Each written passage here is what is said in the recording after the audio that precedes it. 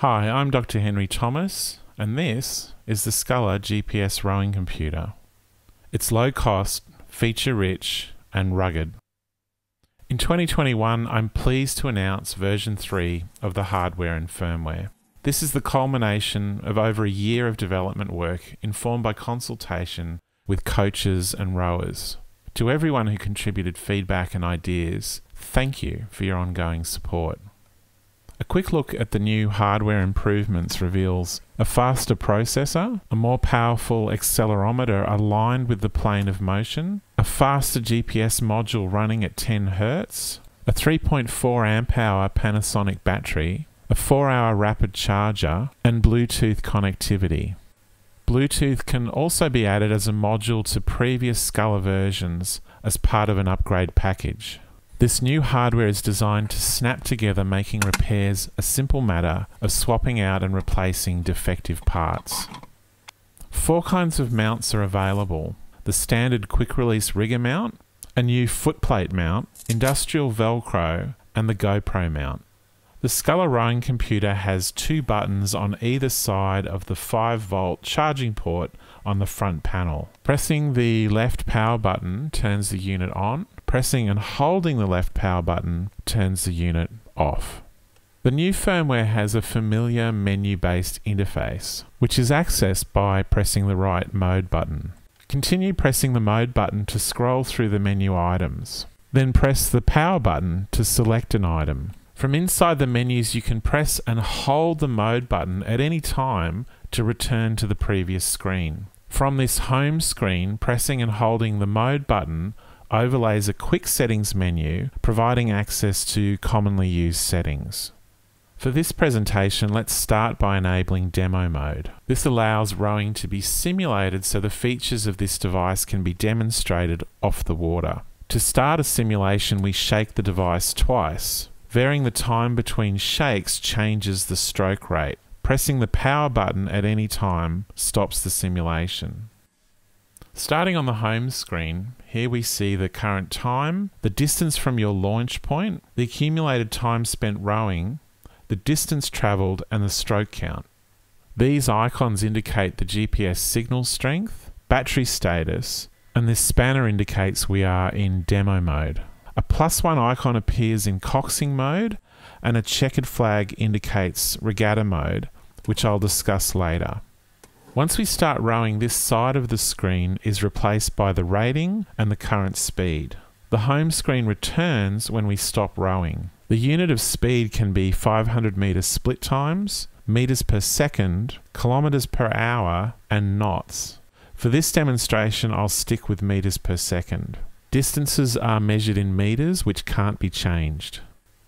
Returning to the training menu, there's a new speed versus rating mode. Here we see a real-time plot of your rating and current speed. This new mode reflects the design philosophy of the new firmware. A lot of coaches were asking about logging and downloading data, but I'm more interested in providing the critical insights they want from that data while they're out on the water. This new mode is a reflection of that. So ideally, your speed should track your rating. As the rating increases, your speed should increase to match. However, if these two lines start to diverge, it may indicate a problem with your efficiency at high ratings, which could indicate an underlying problem with your technique or strength and conditioning.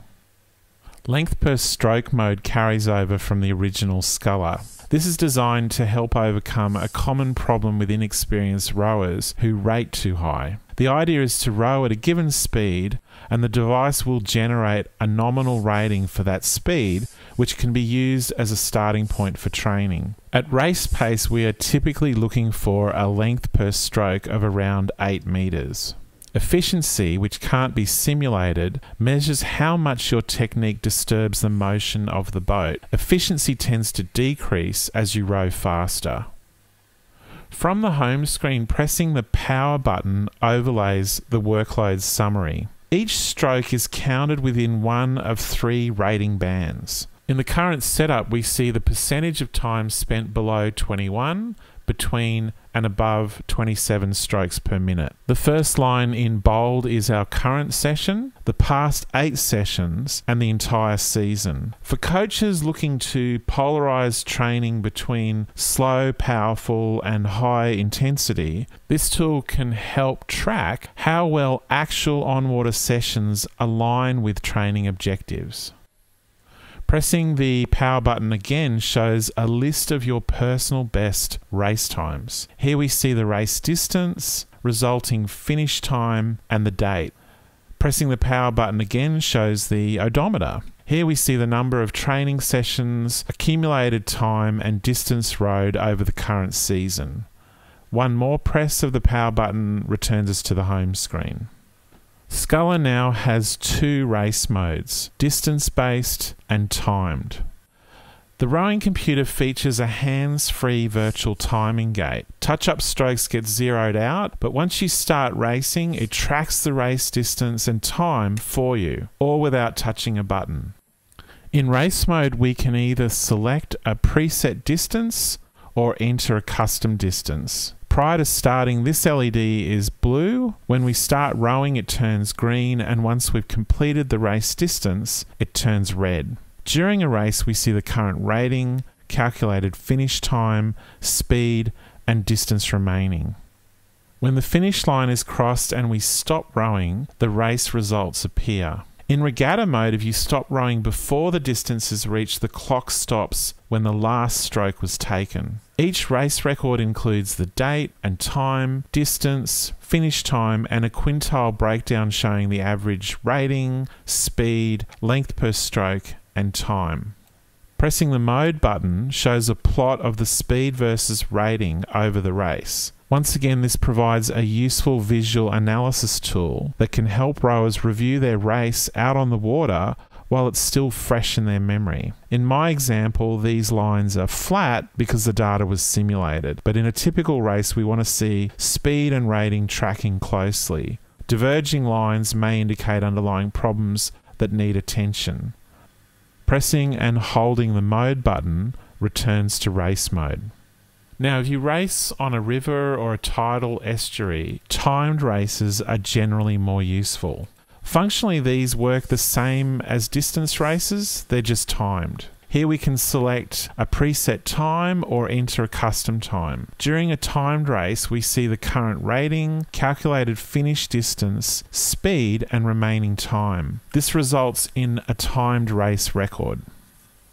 The new firmware includes an extensive set of drills. The drills are time driven with a unit of one minute. Three types of drills are supported castles, ladders, and pyramids. Each mode features six presets which can also be customized. Functionally, the drills are very similar, so I'll just show you an example of how the castles work.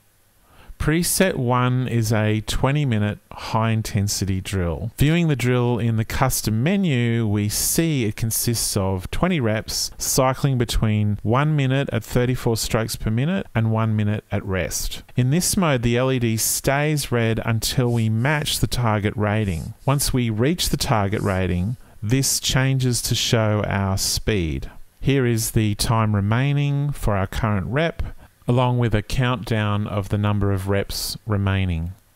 Now, let's say you wanted to recreate this pyramid drill. We want one minute to four minutes, increasing from 18 to 24 strokes per minute in four steps for a total of 16 minutes. So we enter our start values, step changes, and reps. The next new feature is found in the limits menu. Detecting strokes reliably in choppy water against the tide into a headwind is difficult. Even with an adaptive algorithm, one set of parameters is not necessarily ideal for a lightweight single and a heavyweight 8. So if you do encounter problems with miscounted strokes, you can tune the algorithm for your circumstances. The idea is to row at light pressure in the conditions where you're having problems and use the results to estimate the noise floor and signal strength of your boat. The threshold can also be adjusted to dampen the impact of chop and the maximum stroke rate increased to support other paddling craft like dragon boats, kayaks, and canoes. The limits menu is also where you set the upper and lower bands for workload monitoring. The Scullr firmware uses a match filter to detect strokes. It assumes that the screen is always facing the rower. If you turn it around the other way to face a cox, then you need to enable coxing mode so it can work properly. Finally, the new Scullr firmware provides Bluetooth connectivity. You need to have the home screen open for this to work. To pair your mobile phone for the first time, press the mode button to confirm. A demonstration of the mobile app will be covered in a future video. Well, that's it for now. Thanks for watching. Visit scullr.com for more information.